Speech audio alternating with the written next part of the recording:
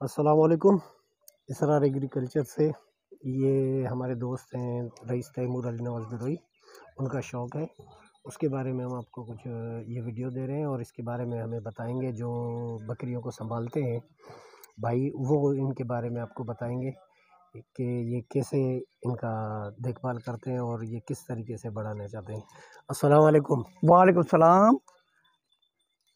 जी, ये बताएँ बकरियों के बारे में। बकरियों के बारे में ये है कि ये नस्ल जो है ना, बड़ा अच्छा नस्ल है, लेकिन दूसरा जो नस्ल है, उसका बीज हमें ये जो है ना, पहला बीज था, उसकी थोड़ा सा शोर नहीं था, लेकिन इसमें वो जो है बकरियों का, मैं रईस को बोला है कि इसको बीज जो है, इसका तब्दील करें।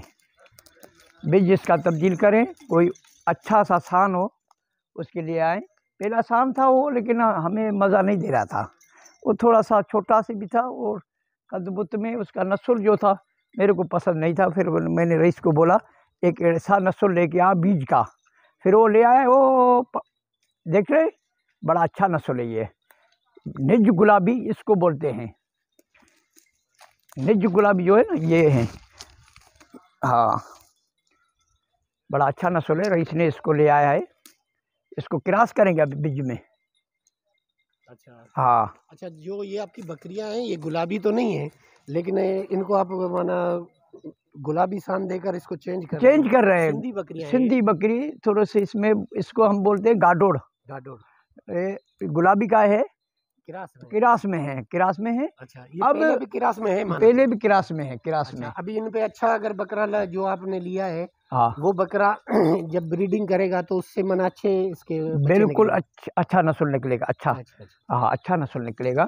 हम्म। ये ये आ गया है देखा है? हाँ इसका वीडियो बना हाँ। वीडियो बना ये है देख। बड़ा अच्छा नस्ल है ये। हम्म। हमने पसंद करके रईस को बोला ये ले आए।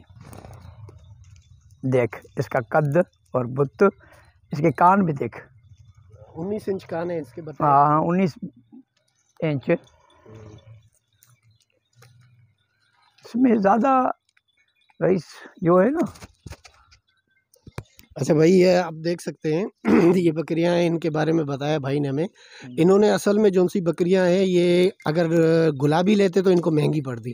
इसलिए इन्होंने जो से किरास गुलाबी लिया है और उसमें ब्रीडर अभी अच्छा इन्होंने एक लिया है उससे ये ब्रीडिंग करके और इससे जो सा है ना बहुत अच्छे तकरीबन जो ब्रीडर है उसी जैसे बच्चे निकलेंगे।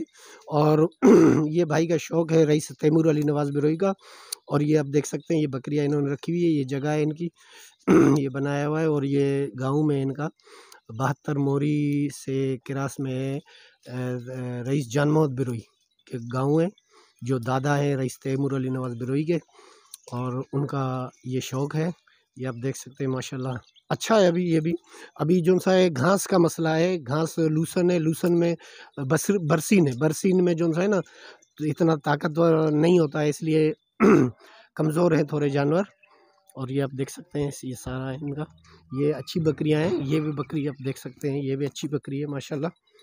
ये देख सकते हैं, बैठी हुई है, ये है, और इसी तरीके से ये है बकरी है। ये आप देख सकते हैं, ये भी अच्छी बकरी है, माशाल्लाह। ये ये भी है, और इसी तरीके से भाई की ये, का ये शौक़ है। ये बकरियाँ हैं। ये भी देख सकते हैं, माशाल्लाह। अच्छी बकरी है ये भी। और इसी तरीके से ये बहुत सारी बकरियाँ हैं। और एक इनके पास दूसरी भी बकरी है, वो सामने बाहर निकल रही है। ये है इनका शौक़ है, हमारे भाई का, रईस तैमूर अली नवाज़ बिरोई का। और इसी तरीके से इन्होंने रखा हुआ है। ये इन एक दो साल के बाद इनके जो बच्चे निकलेंगे, ब्रीडर की तरह होंगे और वो बेहतरीन होगा।